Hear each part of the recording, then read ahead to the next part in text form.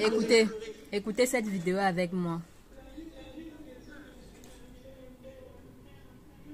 Il s'agit d'une femme qui est venue porter plainte, qui est venue dans un commissariat pour porter plainte contre son mari parce que son mari la frappait d'une manière très violente. Elle, elle ne travaille pas. Elle passe le temps seulement à accoucher. Elle est déjà à six enfants d'âge rapproché.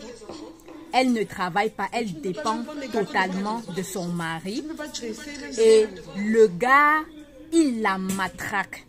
Il la tape jusqu'à ce que le sang coule, jusqu'à faire couler son sang. Il l'insulte il la méprise, il la piétine.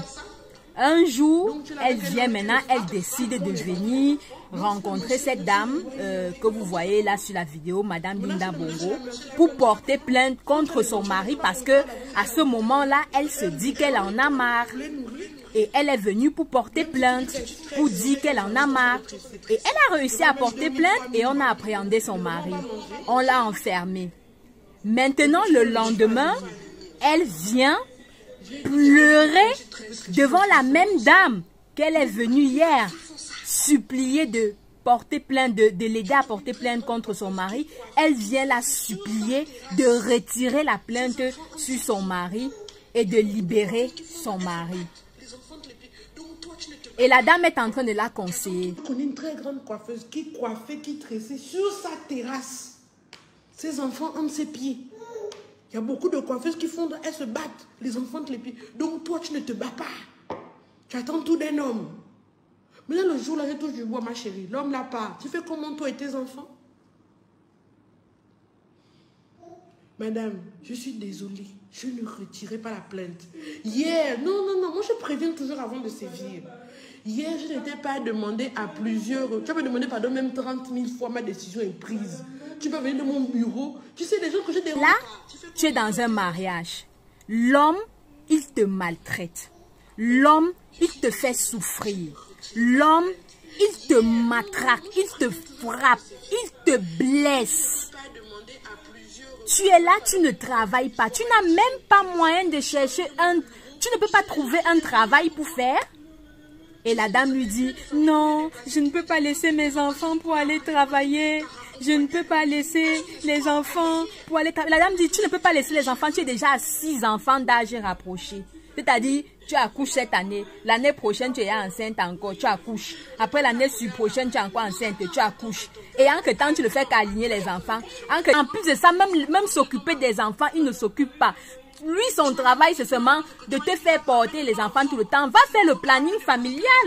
Va faire le planning familial, va mettre les implants et après tu cherches, tu cherches le, le, le, le, si tu ne veux pas te séparer de ton bourreau. Tu mets les implants et tu te mets même à coiffer, à faire même la coiffure. Même si c'est vendre les tomates, tu vends. Et la dame dit que non, il ne peut pas laisser mes enfants, il ne peut pas laisser mes enfants seuls, il ne peut pas laisser mes enfants. Hmm. Je fais cette vidéo pour m'adresser aux femmes qui sont dans les situations pareilles. Les psychologues disent que pour qu'une femme maltraitée puisse réussir à quitter son, mari, puisse réussir à quitter son bourreau, il faut qu'elle ait fait au moins sept tentatives. Qu'elle ait fait au moins sept, sept tentatives de fuite qui n'ont pas réussi. Et à la septième fois, c'est là qu'elle réussit à quitter de ce foyer à quitter de ce mariage.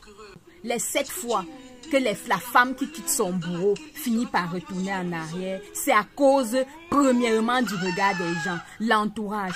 Deuxièmement, c'est à cause de la famille. Parce que, surtout pour nous les Africains, dès qu'elle va quitter son bourreau, on va commencer à lui dire que non, retourne, c'est le père de tes enfants, non, même si te fait souffrir, c'est ça le mariage, c'est ça le mariage. Mesdames, je vais vous faire comprendre que je vais vous faire comprendre que le mariage, ce n'est pas la souffrance.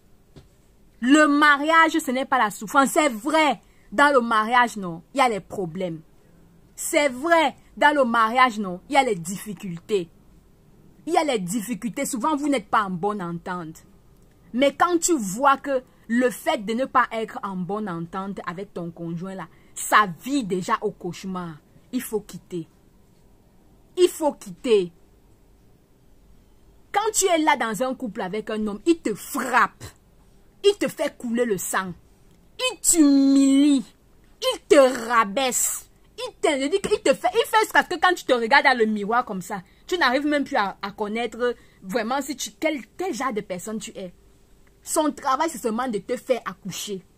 Quand il te fait accoucher là, il ne s'occupe même pas des enfants. C'est-à-dire qu'il il est là seulement pour mettre les enfants.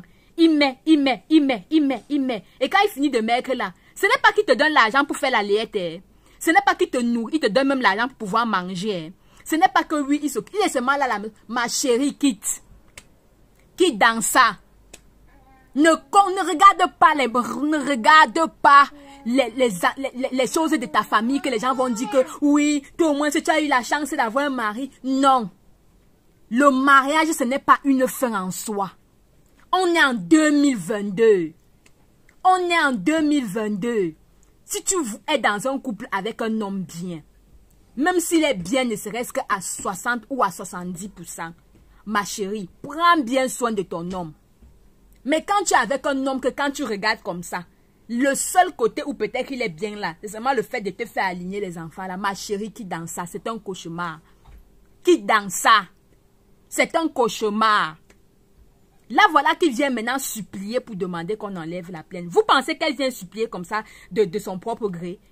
Elle a sûrement reçu la pression des membres de sa famille.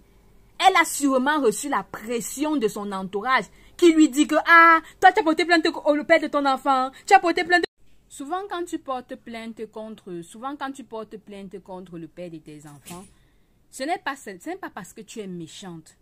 Ce n'est pas parce que tu, tu, es une mauvaise femme. Non. Souvent, quand il t'arrive de, d'aller jusqu'à porter plainte contre le père de tes enfants, c'est simplement parce que tu veux te protéger toi. Et tu veux aussi protéger tes enfants. Parce que c'est vrai, on va peut-être te dire que oui, il a été violent avec toi, il n'a pas été violent avec tes enfants. Mais ce que tu dois savoir, c'est que les enfants que tu laisses, cet homme-là te violente devant eux. Ces enfants-là vont grandir avec un traumatisme. Ne reste pas dans un couple parce que tu vas dire que oui, oh, les enfants, ils vont faire comment il faut. C'est pour ça que les femmes, je vous en supplie, il faut être indépendant. Même si c'est aller laver les toilettes des gens tous les jours pour pouvoir avoir 100 francs, 1000 francs, il faut aller le faire pour pouvoir ne serait-ce que être indépendante un peu de telle manière que même si demain il t'arrive de quitter ce foyer, il t'arrive de quitter cet homme, tu pourras décider de, de, de, de manger, ne serait-ce qu'avoir la nourriture. Et de nos jours, il y a plusieurs choses qui sont mises en place pour aider les femmes qui sont atteintes de violence. Il y a même les réseaux sociaux qui sont là, en parler en parler. Il y a des associations qui sont là. Donc, ne reste pas dans un foyer où un homme te traite mal, où un homme te... Quand je dis traiter mal, c'est-à-dire il y a vraiment traité, parce qu'il y a traité mal et traité mal. Il y a par exemple, tu peux être là dans un couple où vous avez des problèmes, de, de temps en temps des petits problèmes, mais ça passe. Mais quand ça devient déjà du calvaire, quitte. Pour ton bien d'abord à toi, quitte. Pour le bien de tes enfants, quitte. En plus de ça, cherche-toi un travail. Cherche-toi un travail. Si ton mari ne veut pas que tu travailles, non, tu peux lui proposer que chérie, je vais ne serait-ce que vendre les bananes. Peut-être que je ne vais pas aller travailler dans un bureau ou chez, chez quelqu'un. Peut-être que tu as peur que... Mais je veux vendre ne serait-ce... Je veux faire une activité pour être indépendant. Et s'il continue à refuser, je ne te demande pas de te rebeller contre lui. Je te demande de prendre ta vie en main s'il te dit non, il faut qu'il soit capable que quand il te dit non, qu'il puisse, qu'il puisse pouvoir s'occuper bien de toi et des enfants. Il ne peut pas te dire non et lui-même à côté, il ne s'occupe pas bien de toi. Donc s'il te dit non, il faut qu'il soit capable de bien s'occuper de toi et de tes enfants. S'il te dit non et il ne veut pas bien s'occuper de toi et de tes enfants, ma chérie, lève-toi, va, prends ta destinée en main, trouve-toi un travail et travaille, occupe-toi de tes enfants. N'aie pas peur de, de, de sortir de ce foyer. Je tiens aussi à préciser que cette vidéo n'est pas pour inciter les femmes à la rébellion. Parce que vous devez savoir qu'il n'y a aucun mariage parfait. Il n'y a aucune relation parfaite. Dans tous les mariages, il y a le problème, il y a des problèmes. Mais quand dans un mariage, ça quitte déjà, ça va, ça vit au cauchemar. C'est là qu'il faut penser à quitter. Et même quand tu es dans une relation, même si vous êtes sous de beaux jours, même si vous êtes là, vous vous entendez, vous vivez votre best life, il faut toujours penser, toi, en tant que femme, à ton bien-être à toi. C'est-à-dire, tu penses à faire une activité. Tu penses à faire une activité. Tu ne fais pas une activité parce que oui, tu, tu, tu, veux, tu veux prévenir tes arrières, tu veux rassurer tes arrières, non. Mais tu fais une activité pour ton épanouissement personnel et aussi pour l'épanouissement euh, de tes enfants. Maintenant, après, au cas où, au cas où, si c'est que euh, demain ça vit au Kazakh, ça vit au cauchemar, tu pourras quitter de là la tête haute. Et surtout si tu es dans une relation toxique, une relation aussi toxique, n'hésite pas de quitter. Et quand tu prends déjà la décision de quitter, sache que tu ne ignores, tout le monde ne sera pas d'accord avec toi. Tout le monde ne sera pas d'accord avec toi. C'est ça. Et ne sois pas aussi le, ne sois pas aussi le style de femme qui est prête à aller porter plainte contre, contre ton mari, contre le père de tes enfants, pour le moindre coup, le moindre claquement. Quand tu vas porter plainte contre un homme, ou contre le père de tes enfants, il faut te rassurer que c'est vraiment une question de vie ou de mort. C'est pour protéger tes arrières. Ce n'est pas parce que tu lui veux du mal. C'est pour protéger tes arrières. Au cas où, si demain quelque chose t'arrive, qu'on ne dise pas que non, elle est restée tranquille, elle est restée là, elle, elle, s'est tuée. Et en plus de ça, qui vous a même dit que aller que porter plainte contre quelqu'un qui veut, qui veut te détruire, qui veut ta mort, c'est mauvais. Ce n'est pas mauvais. Ce n'est pas mauvais. Donc, il est temps que toi, tu prennes une décision personnelle. Et quand tu prends déjà la décision de quitter, ne retourne plus. Parce qu'un homme qui te maltraite aujourd'hui, un homme qui est pervers narcissique avec toi aujourd'hui, un homme qui veut te détruire aujourd'hui, ce n'est pas demain qu'il va changer. Ce n'est pas demain qu'il va changer, non. Il va peut-être que vous allez vous séparer. Après six mois, il va venir te dire, oui, je suis désolé chérie, j'ai changé, je suis devenu meilleur. C'est le mensonge. Si tu retournes là-bas, tu vas encore plus souffrir. S'il t'aime beaucoup, qu'il prenne soin de ses enfants. Et toi, en tant que femme, que tu sortes, tu vas travailler. Tu as compris?